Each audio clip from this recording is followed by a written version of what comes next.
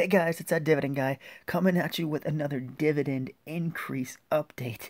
Uh, so today, Honeywell's uh, board of directors has approved an increase in the company's regular annual cash dividend from 360 to 372 per share. The increase will be effective starting with the fourth quarter dividend of 93 cents per share, which was declared today and is payable on December 4th, 2020, out of the surplus to shareholders of record at the close of business on November 13th, 2020. Honeywell remains focused on providing value to our shareholders despite the current challenging economic environment, and today we announced an increase of our dividend for the 11th consecutive year, said the CEO.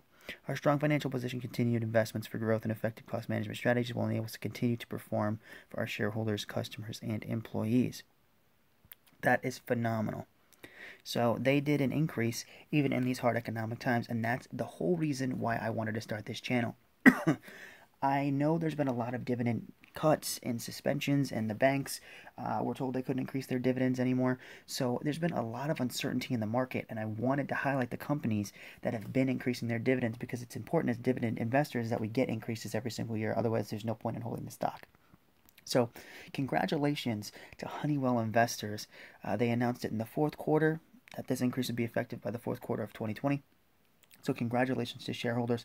I know I just watched a video by PPC Ian, another dividend investor, and uh, he's very bullish on Honeywell, so I'm sure he's excited for this uh, 12 cent dividend increase. Uh, that's pretty significant too, guys. That's a pretty great, that's a pretty big increase uh, for shareholders. So congratulations to anybody who holds Honeywell stock. This is one of the reasons why I love dividend investing.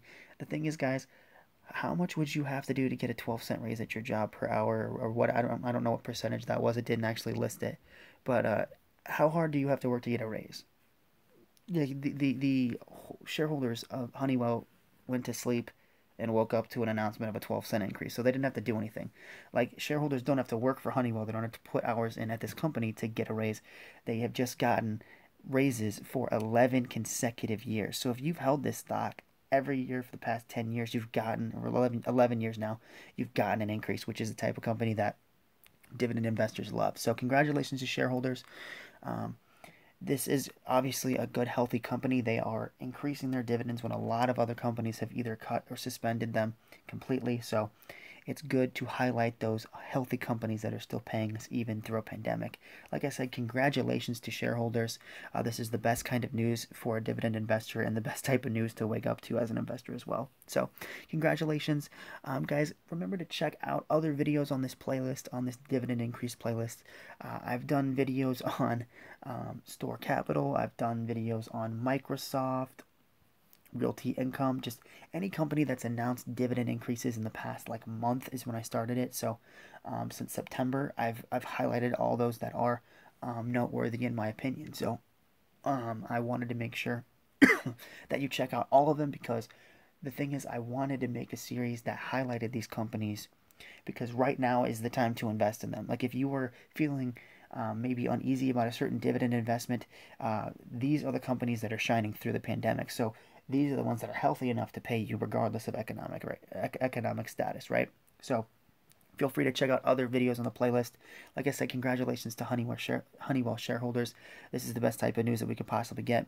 Uh, and with that being said, guys, remember to hit the subscribe button on my YouTube channel, That Dividend Guy. And when you do, hit the bell notification because I post portfolio updates, I do dividend increases, I do Tesla videos, Warren Buffett portfolio updates.